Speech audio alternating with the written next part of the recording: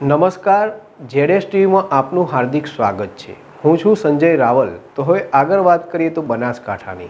બનાસકાંઠાના ઇકબાલગઢ ઇજીવીસીએલની આરસમાં અકસ્માત થવાની ભીતિ.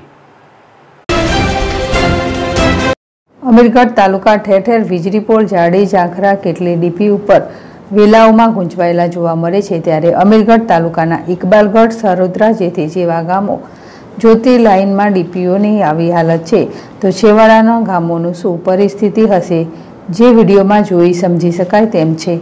પ્રાપ્ત વિગત અનુસાર અમીરગઢ તાલુકાના ઇકબાલગઢ સબસ્ટેશનની લાઇન પસાર થતી તેમાં વચ્ચેના અંતરમાં વીજ પોલની આજુબાજુમાં જાડી ઝાંખરા અને વેલા પોલને ફરતે ગુંજવાતા શેક વીજ વાયરો સાથે ગુંજવાયેલા લાગ્યા છે.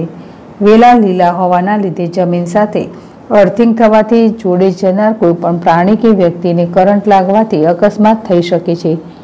જીવ જોખમાઈ શકે છે તેવી પરિસ્થિતિ છે જે ખૂબ જ ગંભીર બાબત છે જોવા મળી રહી છે સમગ્ર બાબતને ધ્યાનમાં લઈને જવાબદાર અધિકારીઓ દ્વારા વહેલી તકે સાફ સફાઈ કરવામાં આવે તેવી ખેડૂતોમાં માંગ ઉઠવા પામી છે. અશોક રાણાવસિયા જેડેશ ટીવી અમીરગઢ.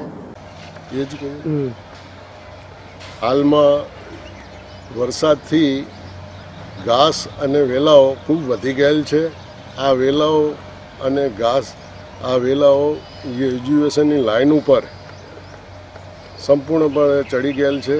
એને તાત્કાલિક અસરથી દૂર કરવામાં આવે અને લાઈનો બધી ક્લિયર કરવામાં આવે તો મોટી દુર્ઘટના ટાળી શકાય.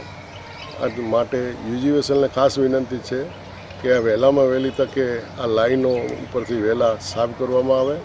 અને કોઈનું નુકસાન ન થાય એની તકેદારી લેવામાં